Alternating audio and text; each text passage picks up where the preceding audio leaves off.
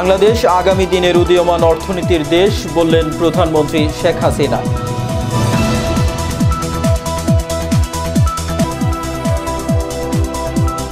Jail code অনুযায়ী খালেদা জিয়াকে ইফতার দেয়া হচ্ছে, জানালেন ওবায়দুল কাদের।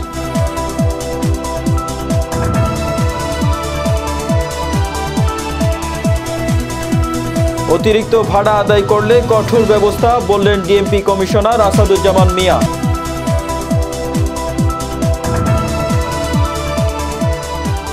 এবং সরকার ভয় পায় বলেই খালেদা জিয়াকে কারাগারে আটকে রেখেছে, বললেন মির্জা ফখরুল। আসসালামু আলাইকুম। আমন্ত্রণ কর্ণফুলী সংবাদে। আপনাদের সাথে আছে আমি সালমান এম রহমান।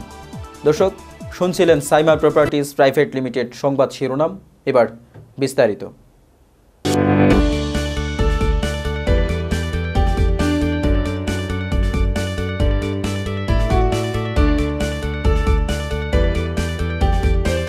দালান নির্মাণের এক বিশ্বস্ত প্রতিষ্ঠান, সাইমা প্রপার্টিজ প্রাইভেট লিমিটেড, আপনার উপরে ওঠার সঙ্গী। আখতারুজ্জামান সেন্টারে প্রতি বছরের ন্যায় এবারও একশো এগারোটি আকর্ষণীয় পুরস্কার নিয়ে শুরু হলো মাসব্যাপী ঈদ বিক্রয় উৎসব দুহাজার উনিশ। প্রথম পুরস্কার আকর্ষণীয় মোটরসাইকেল, দ্বিতীয় পুরস্কার এলইডি টিভি, তৃতীয় পুরস্কার ফ্রিজ সহ রয়েছে একশো এগারোটি আকর্ষণীয় পুরস্কার। তাছাড়া প্রতি সপ্তাহে রয়েছে দশ হাজার টাকার বাম্পার ড্র। আখতারুজ্জামান সেন্টার, মানুষের আস্থার ঠিকানা। যোগাযোগ, বাদামতলির মোড়, একুশ বাই বাইশ, আগ্রাবাদ বাণিজ্যিক এলাকা, চট্টগ্রাম। ফোন, শূন্য এক আট এক নয়, আট তিন সাত পাঁচ শূন্য পাঁচ। বাংলাদেশকে আগামী দিনের উদীয়মান অর্থনীতির দেশ উল্লেখ করে জাপানি ব্যবসায়ীদের বিনিয়োগ বাড়ানোর আহ্বান জানিয়েছেন প্রধানমন্ত্রী শেখ হাসিনা। বাংলাদেশে রপ্তানিমুখী খাত খোঁজারও পরামর্শ দেন তিনি। সকালে টোকিওতে বাংলাদেশ জাপান ব্যবসায়িক সংলাপে অংশ নিয়ে এসব বলেন শেখ হাসিনা। এই অনুষ্ঠানে দুদেশের ব্যবসায়ীদের মধ্যে বেশ কয়েকটি চুক্তি স্বাক্ষর হয়।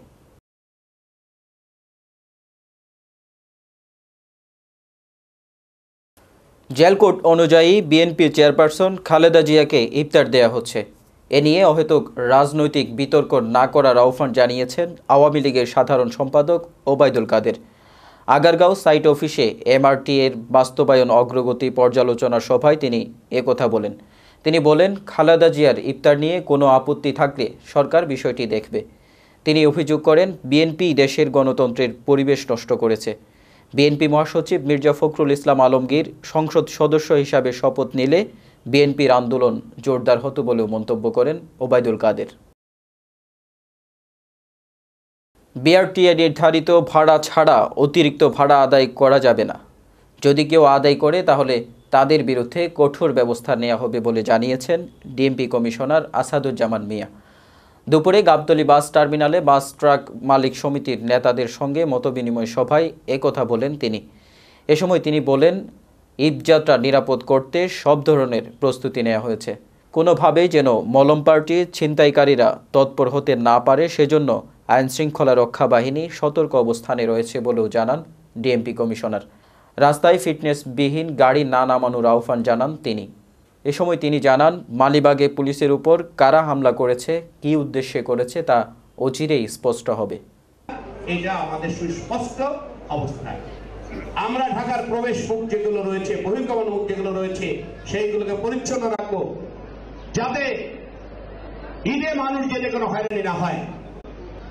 সুস্পষ্ট অভিযোগ ছাড়া, সুস্পষ্ট সংবাদ ছাড়া কোথাও কোনো গাড়িকে দাঁড়িয়ে কাউকে হয়রানি করা যাবে না। এই ব্যাপারে পুলিশের পক্ষ থেকে কঠোর নির্দেশনা দেওয়া হয়েছে। সরকার বিএনপি চেয়ারপারসন খালেদা জিয়াকে ভয় পায় বলেই তাকে কারাগারে আটকে রেখেছে বলে মন্তব্য করেছেন বিএনপি মহাসচিব মির্জা ফখরুল ইসলাম আলমগীর। দুপুরে ইঞ্জিনিয়ার্স ইনস্টিটিউশনে জিয়াউর রহমানের আটত্রিশতম শাহাদত বার্ষিকী উপলক্ষে বিএনপির আলোচনা সভায় তিনি এই অভিযোগ করেন। মির্জা ফখরুল বলেন, একদলীয় শাসন চক্রান্ত ব্যর্থ হবে বলেই সরকার খালেদা জিয়াকে নানা অজুহাতে জামিন না দিয়ে কারাগারে রেখেছে।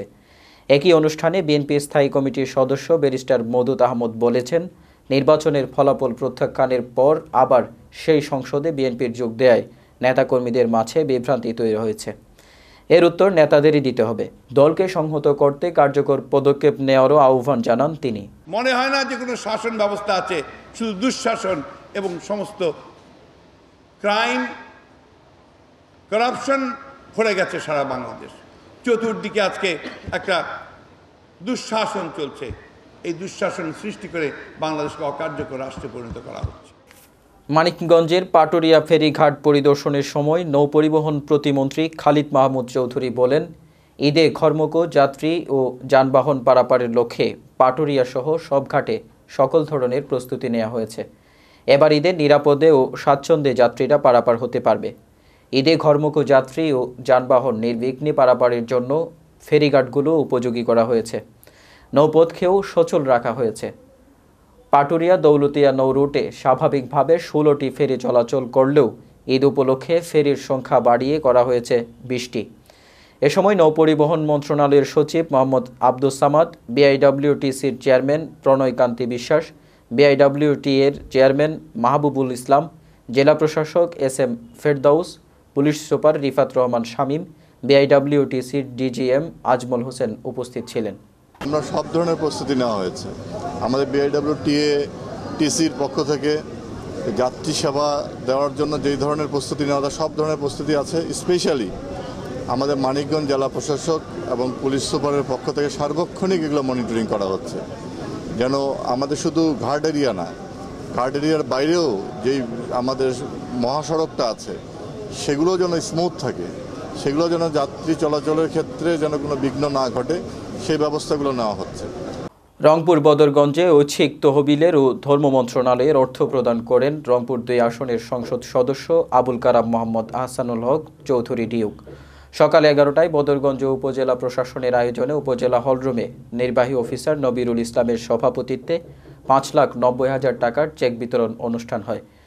অনুষ্ঠানের প্রধান অতিথি রংপুর দুই আসনের সংসদ সদস্য আবুল কারাম মোহাম্মদ আহসানুল হক চৌধুরী ডিউক।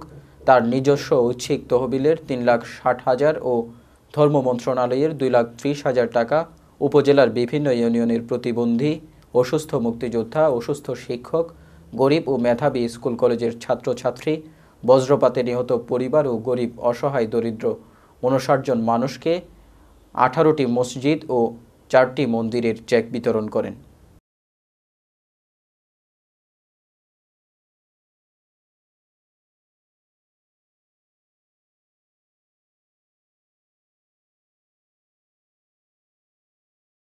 ঢাকাস্থ বরিশাল বিভাগ সাংবাদিক সমিতির ইফতার মাহফিল অত্যন্ত ভাবগাম্ভীর্যের মধ্য দিয়ে অনুষ্ঠিত হয়েছে। জাতীয় প্রেস ক্লাবের আব্দুস সালাম হলে অনুষ্ঠিত ইফতার মাহফিলে প্রধান অতিথি ছিলেন পানি সম্পদ মন্ত্রণালয়ের প্রতিমন্ত্রী কর্নেল জাহিদ ফারুক শামীম, এমপি। সংগঠনের সভাপতি আজিজুল ইসলাম ভূঁইয়ার সভাপতিত্বে ও সাংগঠনিক সম্পাদক জাকির হোসেনের পরিচালনায় অনুষ্ঠিত ইফতার মাহফিলে অন্যান্যদের মধ্যে উপস্থিত ছিলেন সিনিয়র সহসভাপতি মাহমুদ আল ফয়সাল, সহসভাপতি আলিমুজ্জামান হারুন, যুগ্ম সচিব ডক্টর কামাল উদ্দিন জসিম, জাতীয় প্রেস ক্লাবের যুগ্ম সম্পাদক শাহেদ চৌধুরী, সাবেক যুগ্ম সম্পাদক ইলিয়াস খান, ঢাকা সাংবাদিক ইউনিয়ন একাংশের সাধারণ সম্পাদক সোহেল হায়দার চৌধুরী, ঢাকা রিপোর্টার্স ইউনিটির সভাপতি ইলিয়াস হোসেন, ঢাকা সাংবাদিক ইউনিয়নের সদস্য A B M Zahid Mohammad Touhid প্রমুখ। ইফতার মাহফিলে দেশ ও জাতির মঙ্গল কামনা করে মনোজাত করেন ঢাকা সাব এডিটর্স কাউন্সিলের যুগ্ম সম্পাদক জাওহার ইকবাল। সংবাদ শেষ করব। তার আগে শিরোনামগুলো জানিয়ে দেব আরও একবার।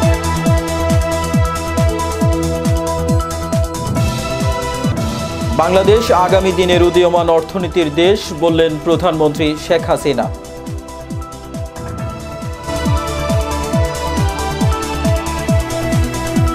জেলকোড অনুযায়ী খালেদা জিয়াকে ইফতার দেয়া হচ্ছে, জানালেন ওবায়দুল কাদের।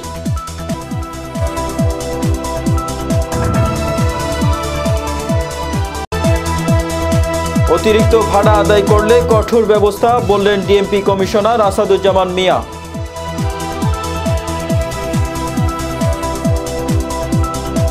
এবং সরকার ভয় পাই বলেই খালেদা জিয়াকে কারাগারে আটকে রেখেছে, বললেন মির্জা ফখরুল।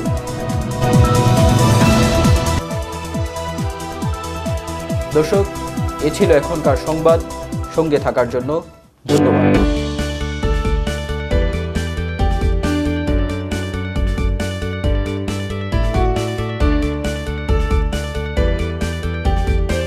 দালান নির্মাণের এক বিশ্বস্ত প্রতিষ্ঠান, সাইমা প্রপার্টিজ প্রাইভেট লিমিটেড, আপনার উপরে ওঠার সঙ্গী। আখতারুজ্জামান সেন্টারে প্রতি বছরের ন্যায় এবারও একশো এগারোটি আকর্ষণীয় পুরস্কার নিয়ে শুরু হলো মাসব্যাপী ঈদ বিক্রয় উৎসব দুহাজার উনিশ। প্রথম পুরস্কার আকর্ষণীয় মোটরসাইকেল, দ্বিতীয় পুরস্কার এলইডি টিভি, তৃতীয় পুরস্কার ফ্রিজ সহ রয়েছে একশো এগারোটি আকর্ষণীয় পুরস্কার।